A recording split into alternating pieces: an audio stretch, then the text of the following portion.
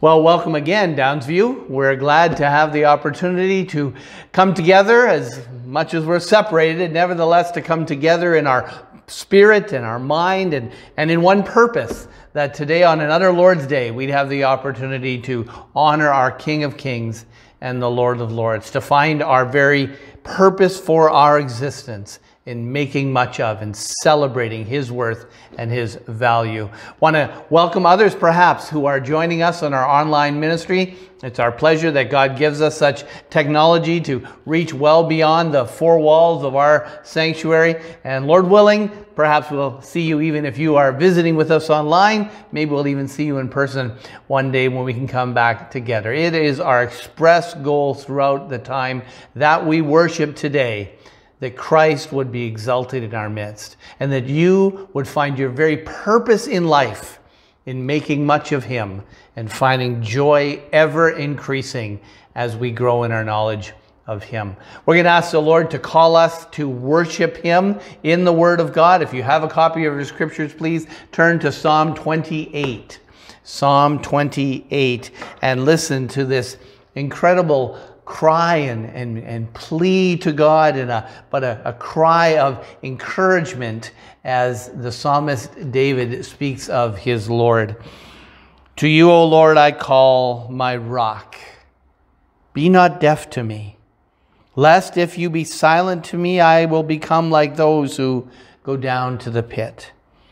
Hear the voice of my pleas for mercy, for when I cry to you for help, when I lift up my hands towards your most holy sanctuary, do not drag me off with the evil, with the wicked and workers of evil, who speak peace with their neighbors while evil is in their hearts.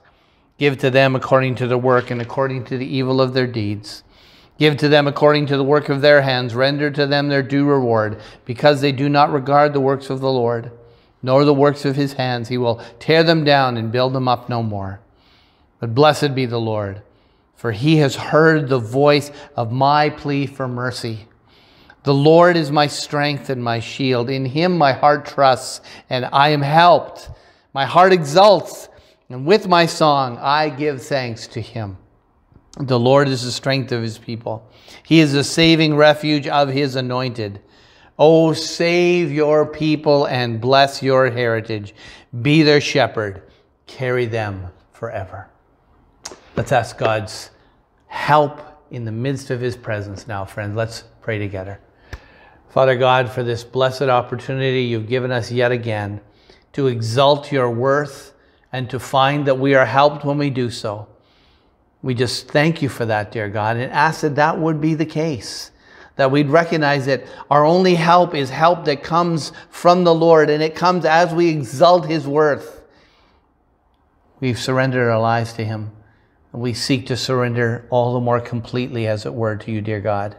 We want that, dear God, because you are worthy of our praise. You are worthy of our allegiance. And so we ask, Heavenly Father, in the mix of distraction, of the noise, of the busyness of our lives, calm our hearts, focus our hearts now on you. May we exalt you in Christ. We pray through him. Amen.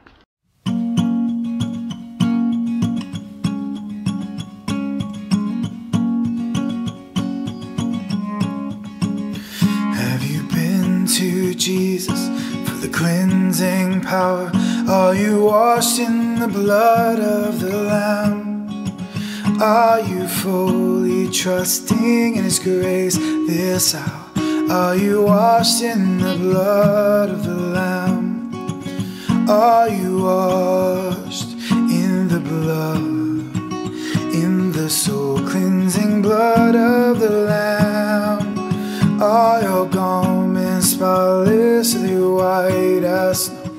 Are you washed in the blood of the Lamb? Are you walking daily by the Savior's side?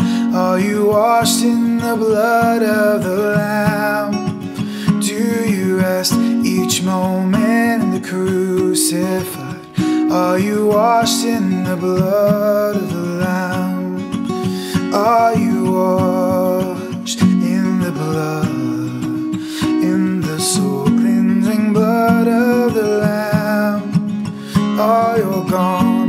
spotlessly white as snow. Are you washed in the blood of the Lamb?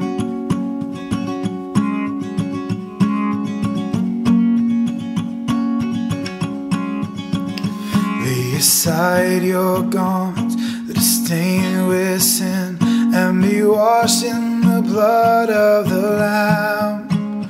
There's a fountain flowing for the soul unclean and be washed in the blood of the Lamb. Are you washed in the blood, in the soul cleansing blood of the Lamb? Are your garments spotlessly white as snow? Are you washed in the blood of the Lamb? Are you washed in the blood, in the soul cleansing blood of the Lamb? Are your garments spotlessly white as snow? Are you washed in the blood of the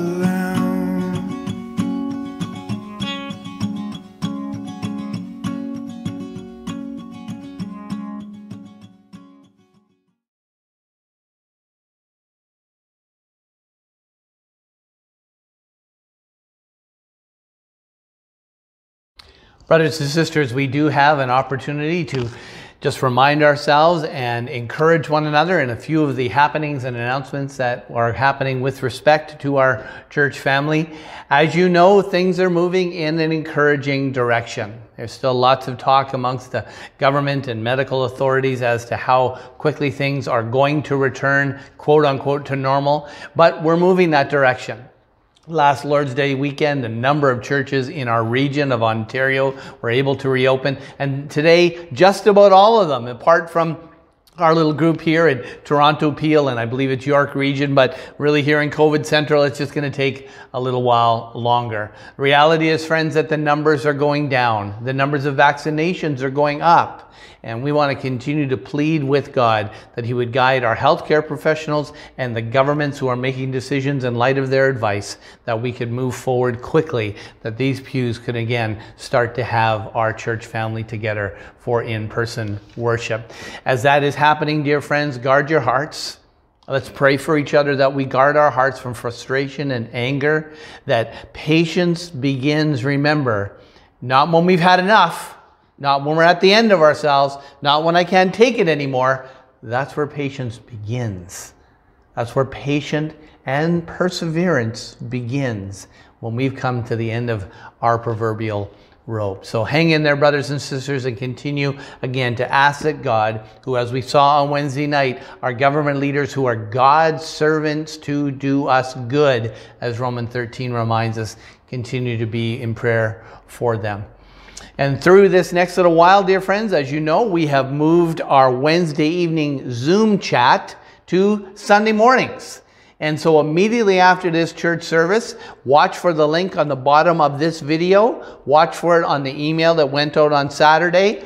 If you are watching this and you can't find it, just text me or email me, or I might not check the email. Probably the best way is to text me or maybe Facebook Messenger. I'll watch uh, as we're conducting that meeting just at noon today so that you're able to click on Zoom. We've just had a, a great time just connecting with one another. It's akin to chatting in the pews or the parking lot, out in the foyer, just to get to uh, remind each other of how we're doing and things that are happening in our lives and the kind of fellowshipping that we just love to do at Downsview. So please join us to see some faces we haven't seen, to hear your voices. What a blessing. So please come and join us immediately after the service at noon. Just watch for your Zoom link even on this video.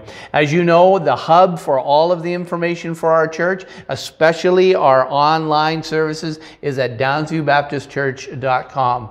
And if you, some folks have been a little bit confused because it's sort of we're trying to point people directly there rather to Facebook or YouTube. But both of those things, all of those Facebook uh, links as well as YouTube links will be found at downsviewbaptistchurch.com. This is what the website looks like. You won't see that yellow arrow there, but that yellow arrow is where you go on Sunday morning.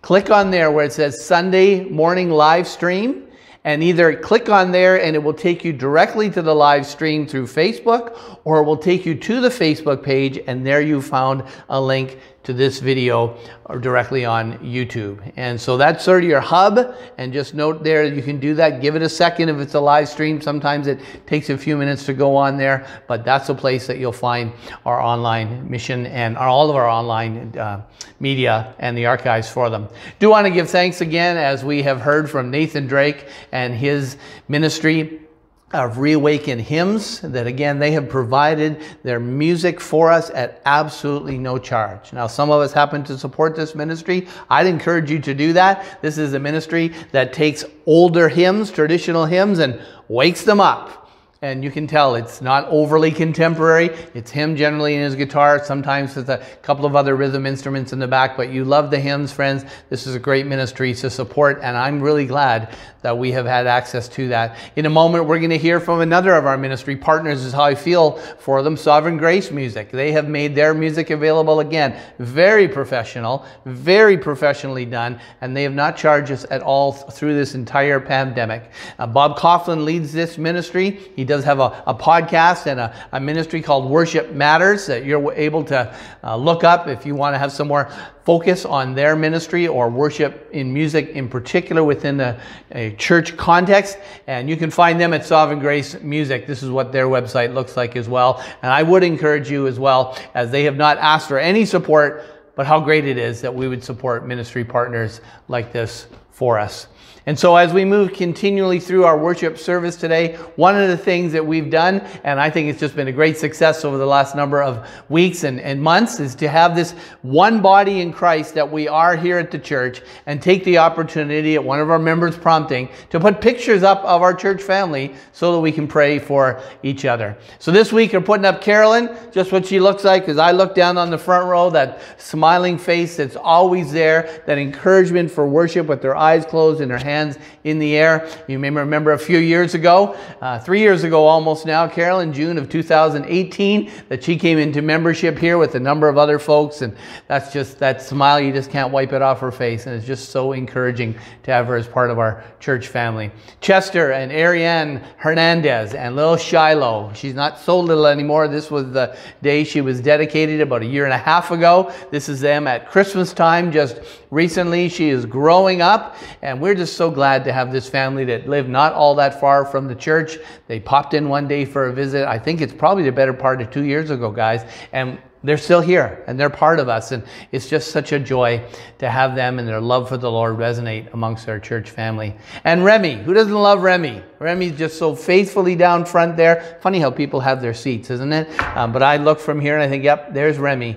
Just a, a of a firm and steadying influence amongst the college and career group folks. I have heard so many testimonies of Remy's life, particularly from his fellow students, about how he's just a steady guy, kind of guy you can just depend on to be there, a man who keeps his word. We had our men's breakfast a, a year ago, February, where we served the ladies, and Remy said he would help, and he was right there. And there he is in the front row with a number of the other guys that were doing that. And so we're blessed to have Remy amongst our church family as well. So for Remy and for the Hernandez family and for Carolyn, we give thanks to God. So join me in a word of prayer, would you please? Father, thank you for the kindness that we enjoy of a church family that is increasingly growing together as the body of Christ that we are.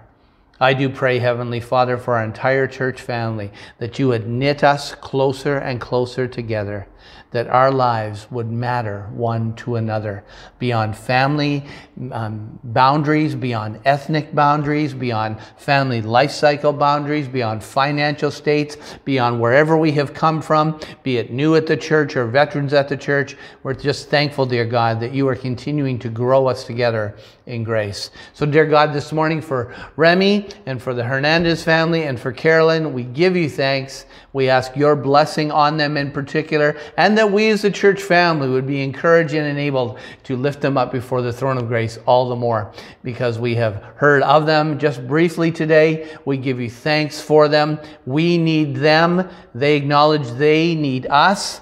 And we pray, Heavenly Father, that that would be the trajectory of our lives together in the Lord.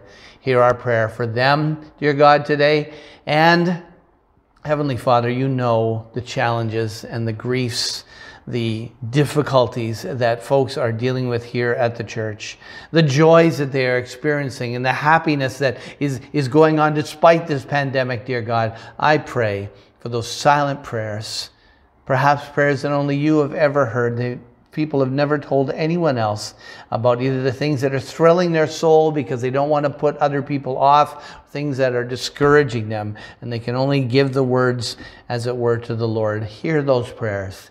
And please, would you, dear God, answer in grace. To the glory of your Son's name, we pray. Amen.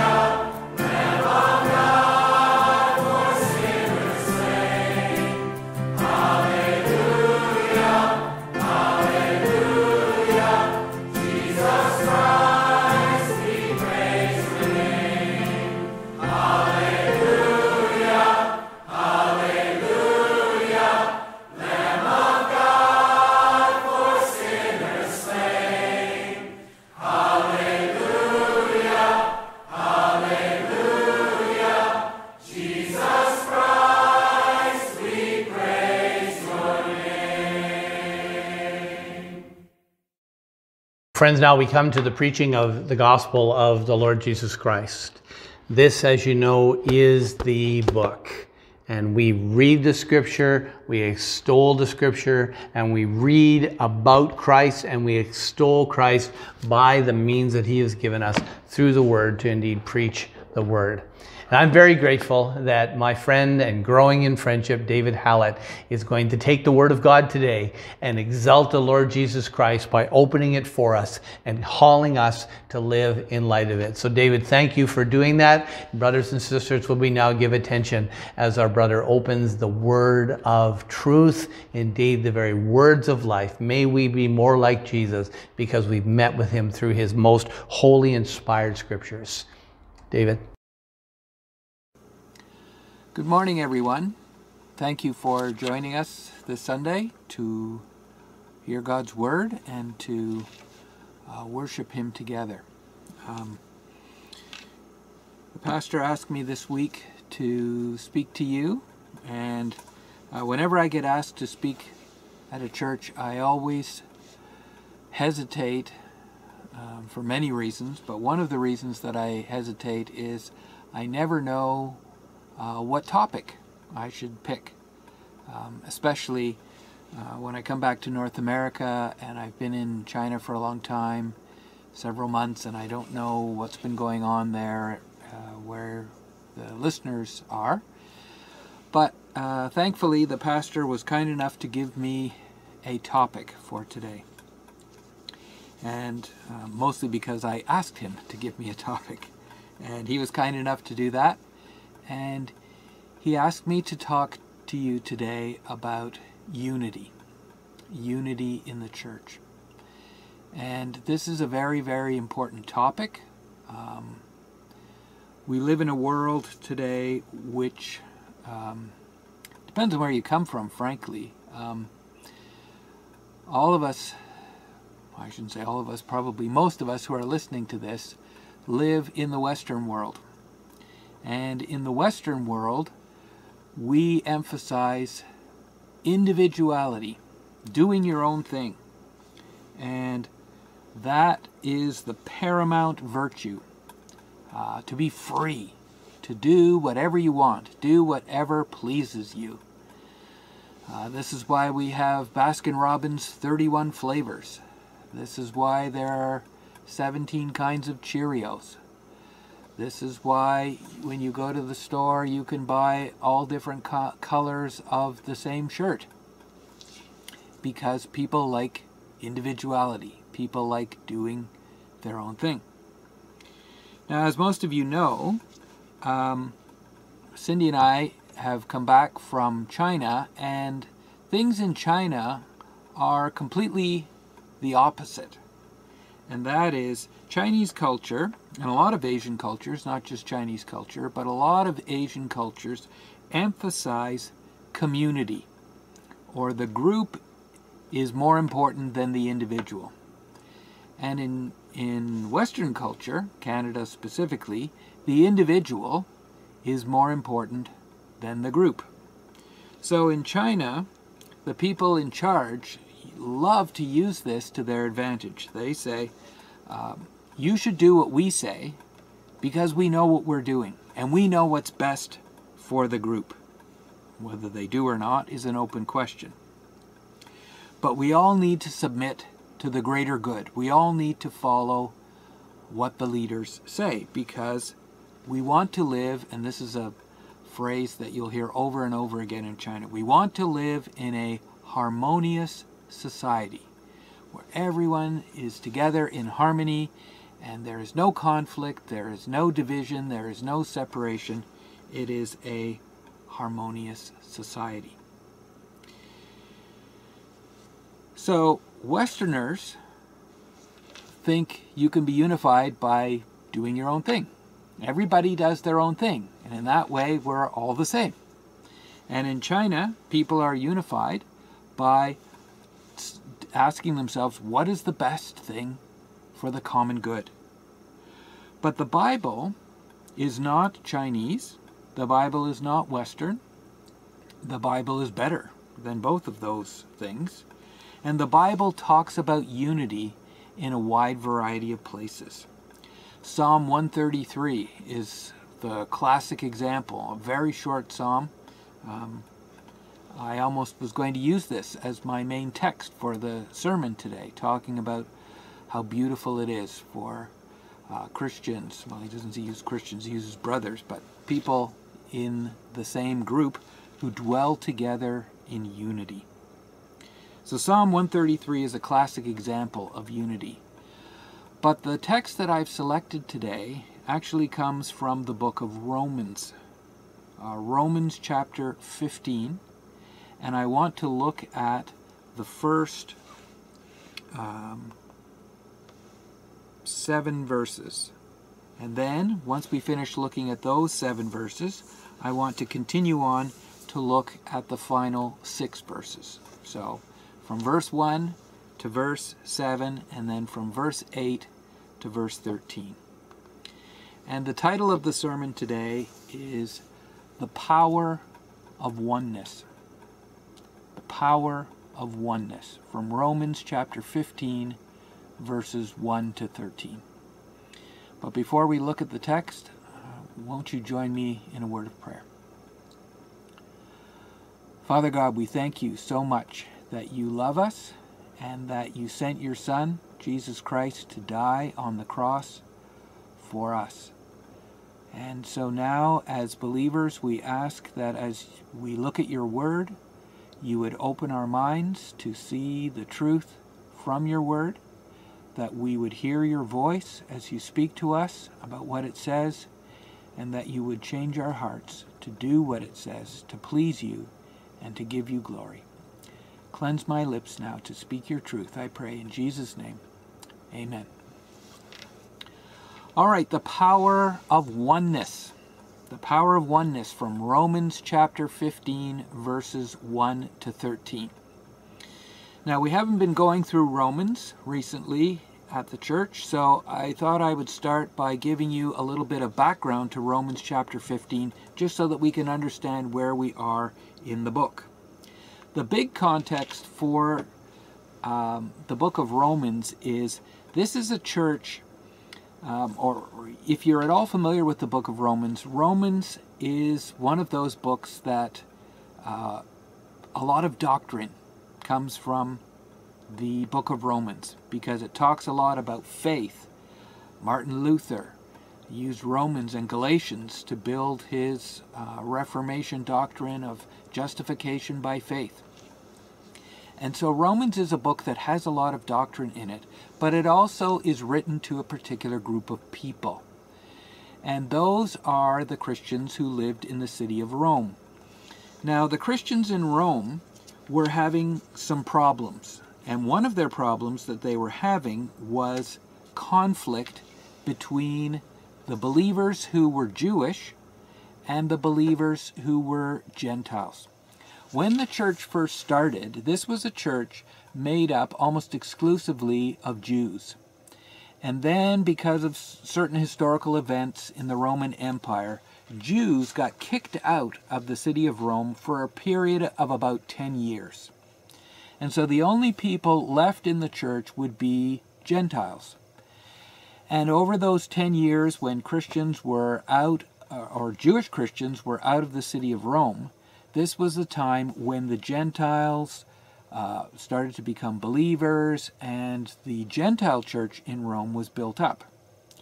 But at a certain point, the government changed their mind and they allowed Jews to live in the city of Rome again.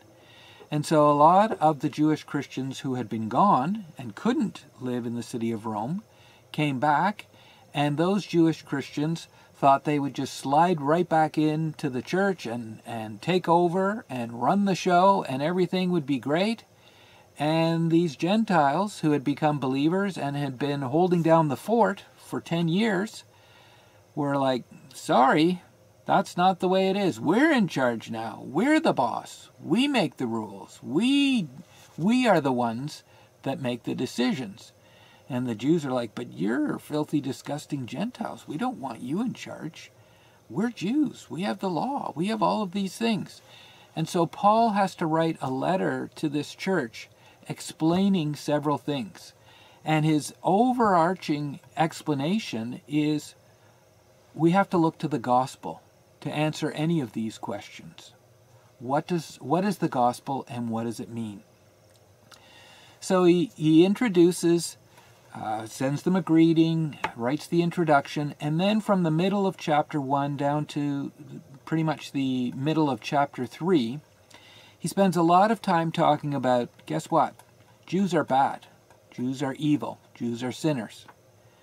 And guess what? Gentiles are bad. They're also sinners. They're also evil. And both Jews and Gentiles need a Savior. One is not better than the other. Then from the middle of chapter 3 through chapter 5, he talks about if everybody's a sinner, how do we come to faith? What, what causes faith? And he talks about justification by faith alone. Talks about Abraham justified by faith and what it means to believe God and to trust him in faith. Then in chapter 6 through 8, he begins to talk about how important it is for the church, both Jews and Gentiles, to understand the place of the Old Testament law and grace and the Holy Spirit in the life of Christians. Is the law over and done with? Is the law a bad thing? Should we forget about it? What is grace? Should we sin more so that we can have more grace? And how do I live in the power of the Holy Spirit? So all of these things get covered in chapters 6, 7, and 8.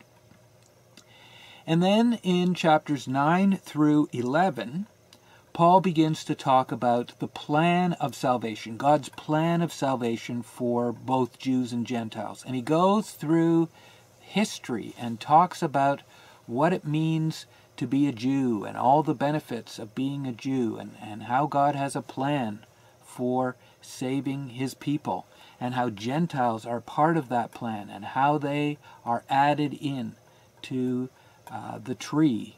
Uh, the branches are broken off and other branches are put in. So he's trying all through all of these sections to walk this fine line by explaining the gospel to explain to them Jews aren't the best, Gentiles aren't the best, Jesus is the best. And Jesus is there to bring both Jews and Gentiles into the body of Christ. And together they make up the body of Christ, and they together equally are God's children. And so from chapter 12 through to the section we're going to look at today, Paul talks about how to live the gospel. And what does it mean to be a Christian? If all these things he said are true, what are we supposed to do? So, this section we want to look at in detail today is on a section that is towards the end of how to live out the gospel, and it starts in chapter 14 and it goes through to the end of the section we want to look at in detail today. That's chapter 15, verses 1 to 13. And this whole section, 14.1 to 15.13, is about love and it's about liberty. And so in this larger section, he talks about uh, what meats are okay to eat, what vegetables are okay to eat, what special days should we follow.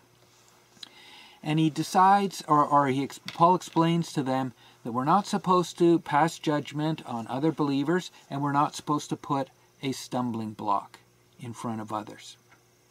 And again, Paul is trying to walk a fine line here to try and explain to both Jews and Gentiles differences between you are not important. What you share is most important. And what you share is Jesus. And for that reason, you need to be united. The power of oneness. So, in the message today from Romans chapter 15, verses 1 to 13, Paul wants to answer two key questions about Christian unity. The first question he wants to answer is in verses 1 to 7 that is, how can Christians be united? How can they be united? To answer that question, he is first of all going to give the answer, then he's going to give an example, and then finally he's going to pray for the church. So all of that is in 15, 1 to 7. The next question that Paul is going to answer is why? Why should the church be united? And he explains that in verses 8 through 13. And again, he's going to first of all give the answer, then he's going to give an example, and finally he is going to pray. So in both questions, how can we be united? Why should we be united? He's going to give an answer, he's going to give an example, and he is going to give a prayer. So let's move our way through these verses together and see what God has to say to us today. So let's start with the first question How can we be united? And in this question, Paul is answers that question in the first two verses. He says, first of all, in verse 1, We who are strong have an obligation to bear with the failings of the weak, and not to please ourselves. Let each of us please his neighbor for his good to build him up. Now, one of the things that you're going to notice as we work our way through this passage is that Paul begins by talking about we and us and our and ourselves. And he's going to emphasize, first of all, what we is, meaning Paul and, and his ideas. But then he's going to shift later on and focus on you what you are and what you need to do. So you notice here in these first uh, two verses, in the answer part of how to be united, he makes a contrast between the strong and the weak. Now, uh, this is not the only place that Paul talks about uh, the strong and the weak. He also talks about this in 1 Corinthians 8 to 10 and there's a long section there about um, stumbling blocks and other things. But what I want us to notice here are some things that that maybe we don't always emphasize in this discussion. Because I'm looking at it through a certain pair of glasses, and the glasses I want to look at is unity. So, strong and weak are part of the same group. They are unified. And notice what he says in their unity that those who are strong, those are people who are mature, they have certain um, understandings of the faith. Maybe they've been Christians longer, maybe they understand the scriptures better. Now, please understand, in the church, some people are strong in certain areas, some people are strong in other areas, some people are weak in certain areas, some people are weak in other areas. I don't think that Paul is trying to say, when you are strong, you've solved all your problems. Everything is, is fantastic. We all have strengths, we all have weaknesses. But in those areas that we have strength, Paul talks about the fact that we have an obligation, an obligation to the weak. In other words, we owe the weak something. It's not something that we deign to give them, or if we're feeling in a good mood, that we give to them. This is something that we owe them. It's an obligation. It is a duty. It is a requirement for us as the strong. So, in areas where I'm strong and I know that, that I am strong, that doesn't mean I use my strength for my own benefit but I use that strength that I have to bear with the failings of the weak. Another word for weak here, um, you could also, it's often translated in other places in the Bible as powerless. The people who are powerless. In other words, they're not stupid, they're not dumb. They, it's not that they haven't come to the same conclusion as you for any other reason other than they are powerless. They it's it's through no fault of their own. So when they make mistakes, when they have problems, it's not our job to criticize them, but it is our job to bear with them, to help them, to encourage them, and not to please ourselves. In other words, it's our job to help other people when they make mistakes. Now, oftentimes, what can happen in the church is when, especially new believers, make mistakes, there's a lot of correction. You don't do it that way, do it this way. This is wrong, you're doing this wrong, this is wrong, this is wrong, this is wrong, this is wrong. Frankly, what the text says is we who are strong should bear with the failings of the weak. Help them, not to please ourselves, but to build them up. That's what verse 2 says. Let each of us please his neighbor for his good to build him up. When Jesus in the gospel talks about the law, and remember there are Jews here, and Jews love the law, what is the discussion about what does the law rest on? It rests on one thing. Two things, actually. Loving God and loving your neighbor as much as yourself. What does verse 2 say? Let each of us please his neighbor for his good to build him up. So the point of how do we express unity in the church is in those areas where we are strong, we help those, we build up those who are weak. This is the first step in real Christian unity. If I come to church and I know that anytime I make a mistake or I do something wrong, people are going to come down on me and criticize me and um, correct me in an unloving way, am I going to want to be there? Am I going to want to be in a church that's constantly ready to swoop in and smack me down? I don't think so. Let us each please our neighbor for his good to build him up. That's the answer.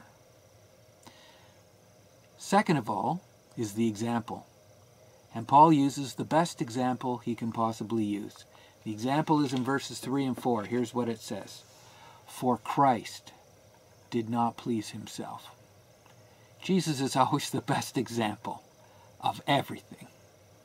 Christ did not please himself, but as it is written, the reproaches of those who reproached you fell on me. And we'll talk about where that comes from in a second.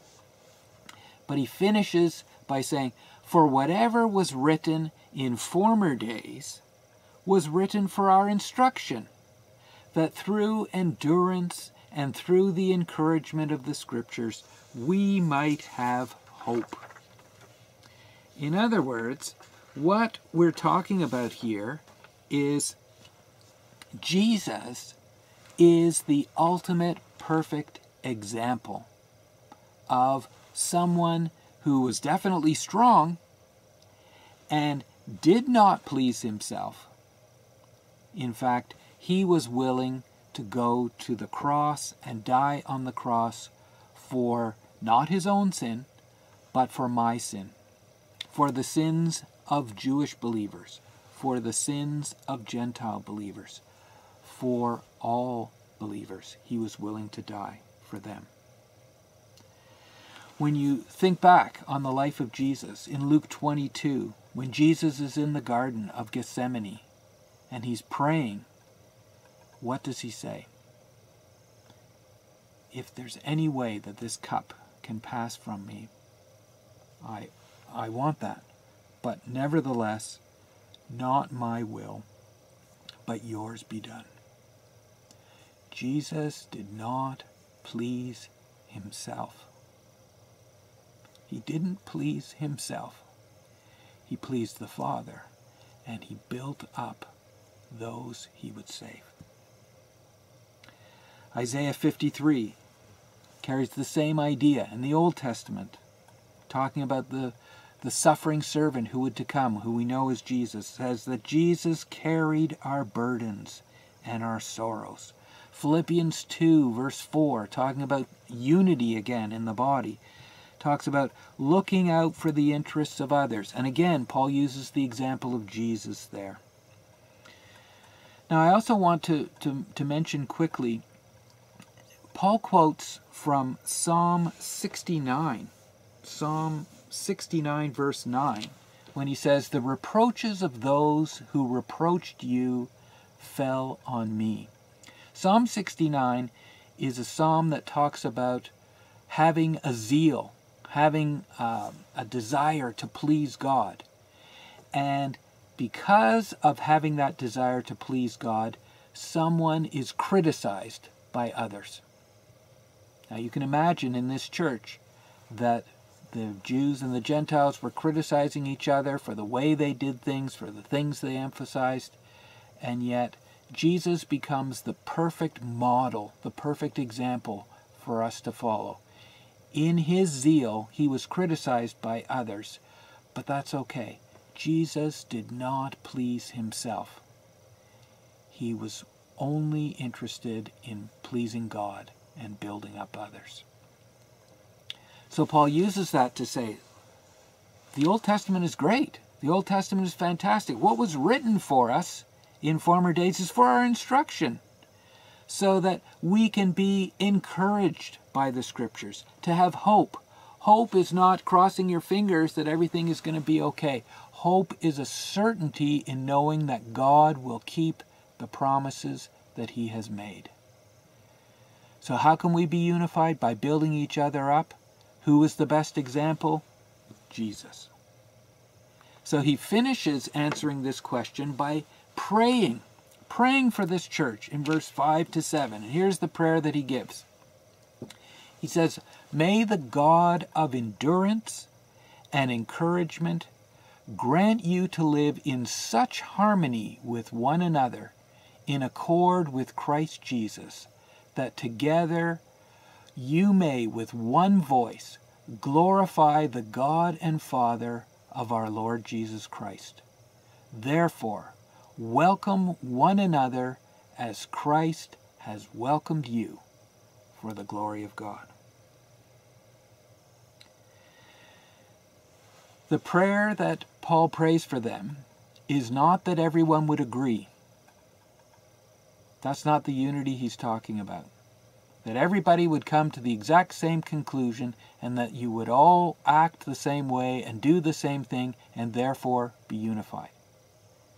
Now he asks for endurance. He asks for encouragement so that they can be in harmony.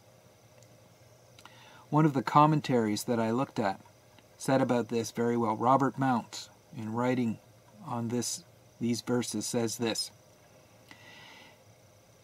his desire that they should live in harmony, talking about Paul, his desire that they should live in harmony does not mean that they should all come to the same conclusion. That is obvious from his discussion of the weak and the strong. The conscience of each is to guide the conduct of that person. It is unity of perspective that is desired. Take on his values, or sorry, and that perspective is that of Christ Jesus, our model for Christian conduct. Think as he does. Take on his values and priorities. As each member of the church draws closer to Christ, we will at the same time draw closer to other members of the body. The experience of Christian unity produces a symphony of praise to God in which each voice blends with all the others to the glory of God. It is a family affair.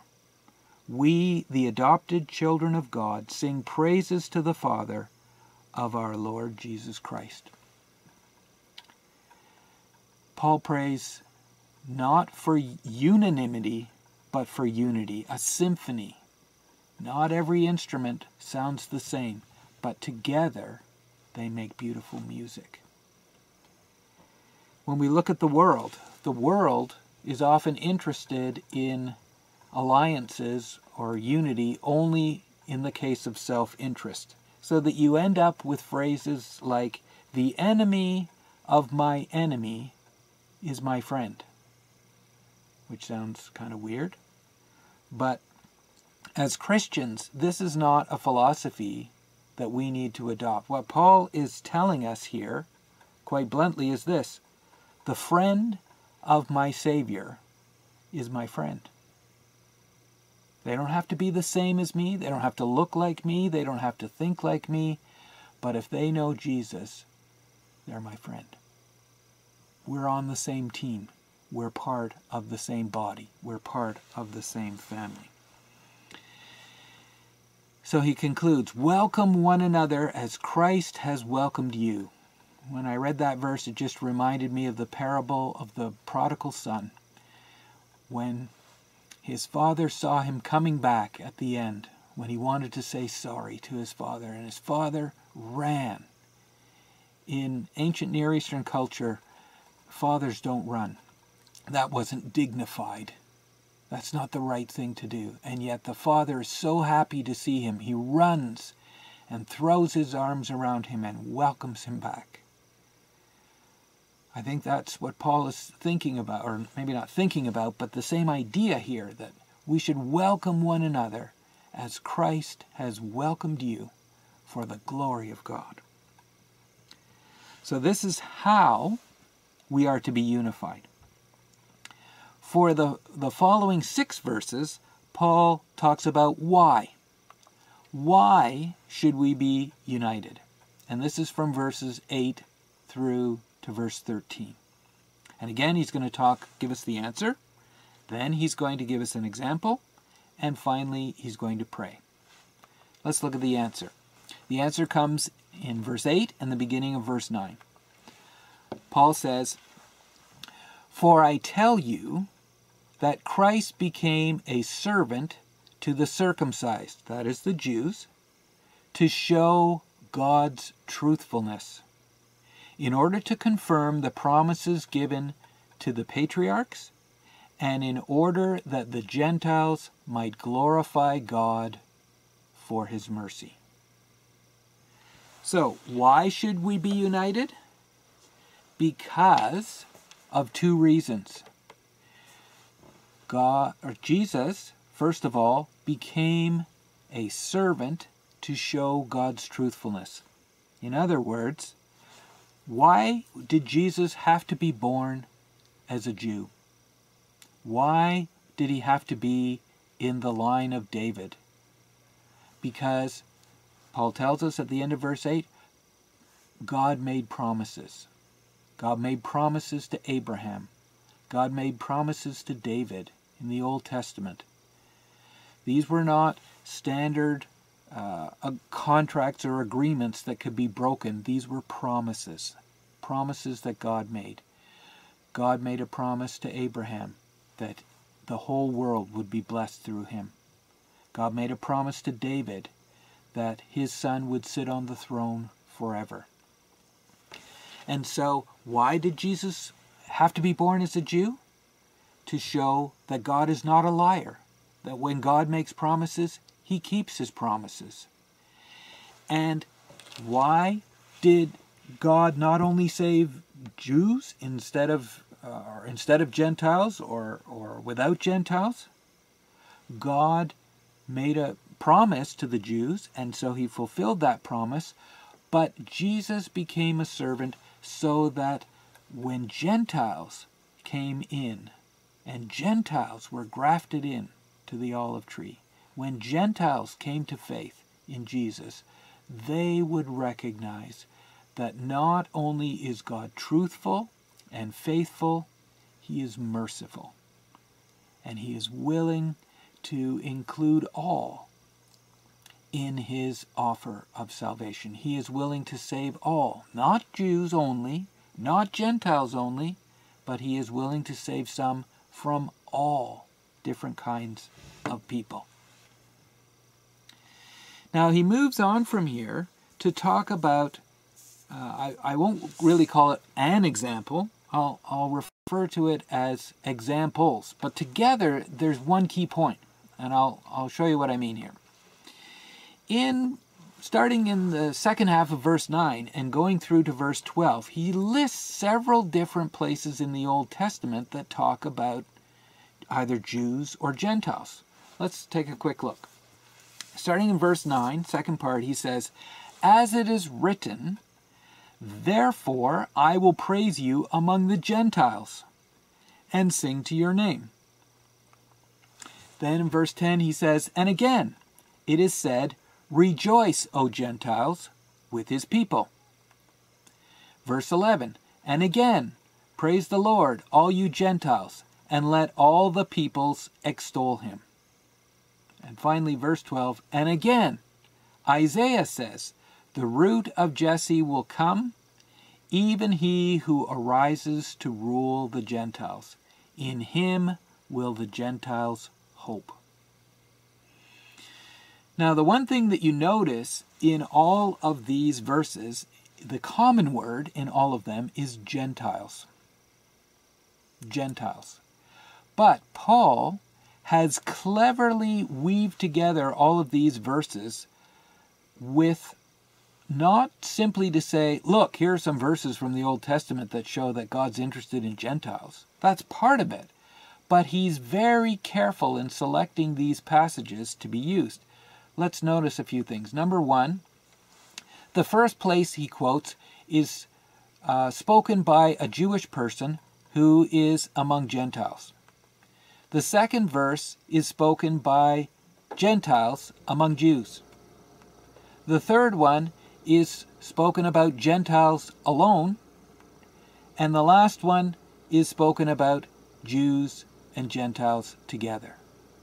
In other words, he is using these verses to show that Jews and Gentiles belong together.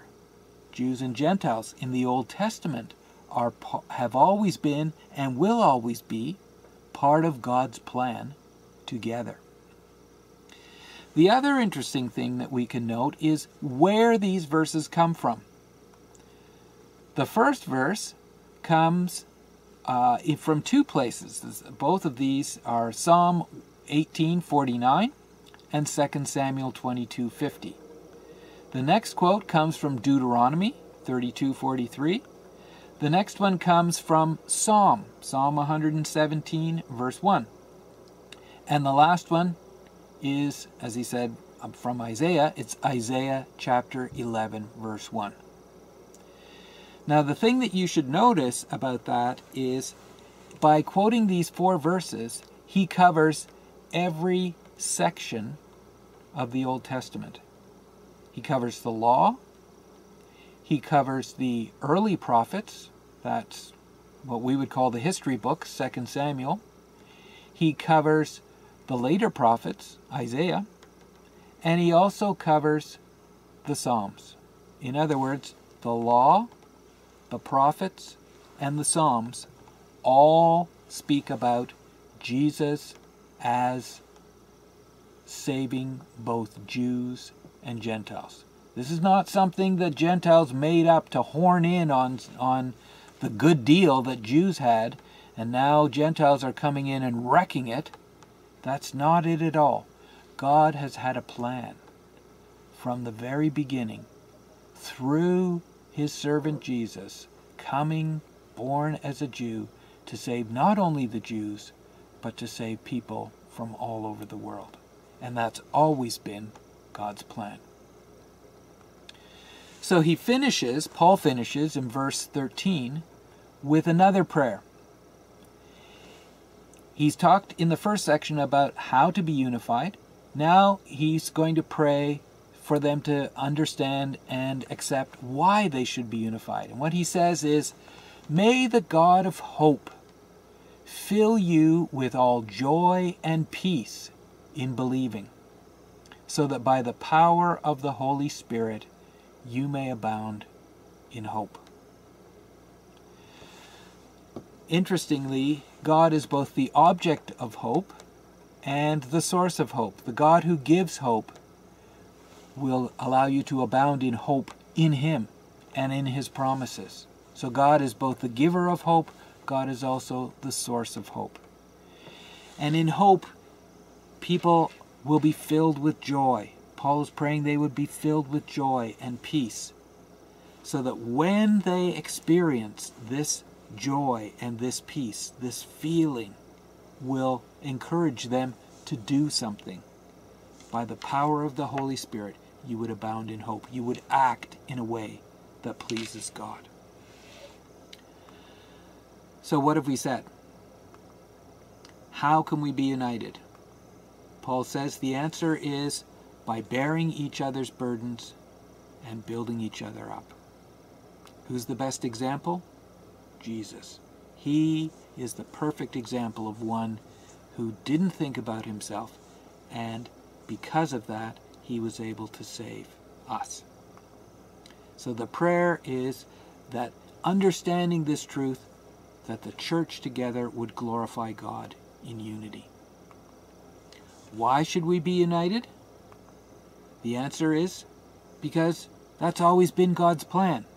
God isn't the God of the Jews only. God isn't the God of the Gentiles only. It's always been God's plan from the beginning to save a people from for himself from all the nations.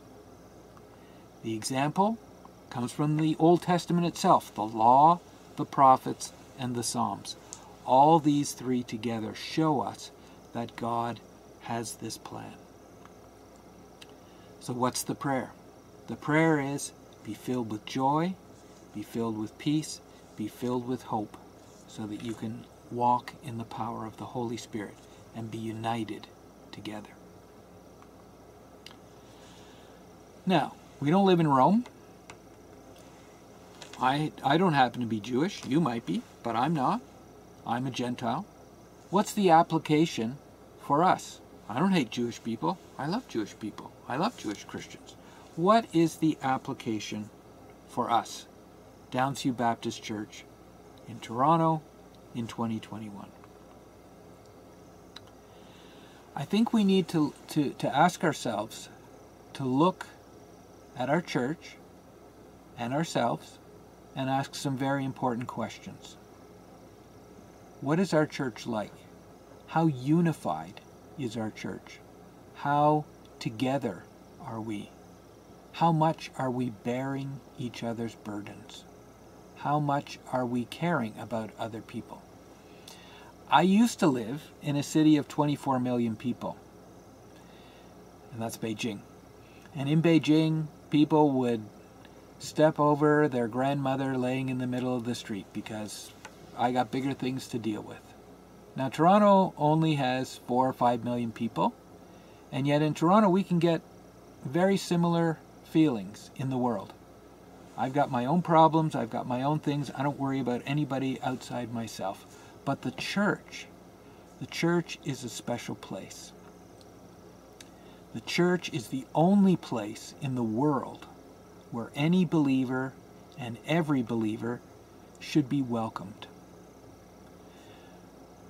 Every believer should be welcomed in the church.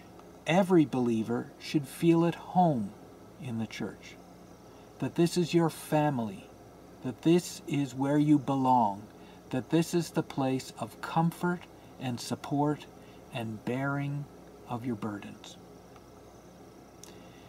If people come into our church and they don't feel welcome, they don't feel at home, then we're doing something wrong.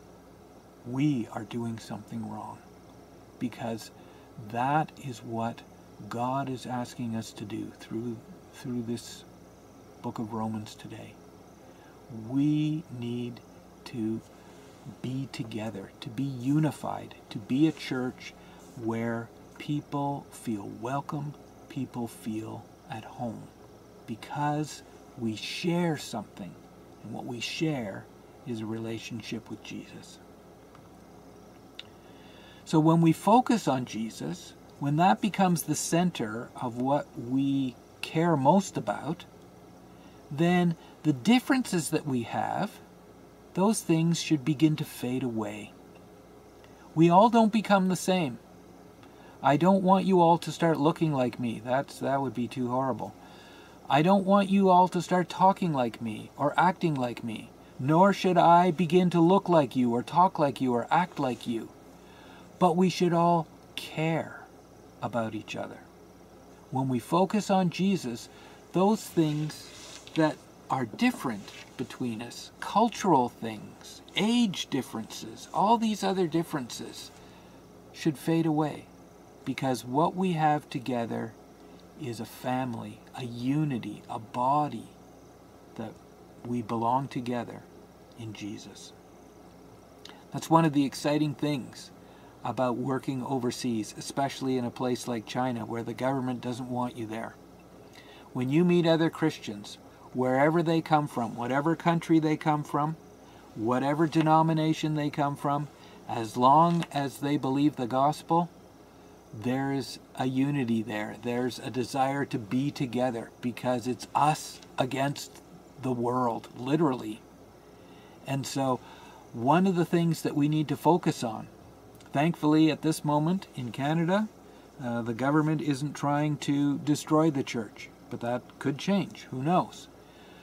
But as a, as a church, whether in China or in Canada or wherever we are, we need to be focusing on Jesus. And if we have differences, those things will fade away the more that we focus on Jesus. Unity is the key. It's the key to giving God glory. It's His plan. Jesus is the perfect example. This is what He wants. When we are unified, this gives glory to God. And for the world, unity is the key to evangelism. Last week, the pastor preached from John. I'm going to quote to end the sermon today from John chapter 17.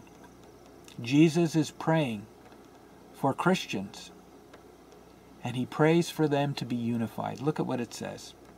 This is Jesus praying Holy Father, keep them in your name, which you have given me that they may be one, even as we are one.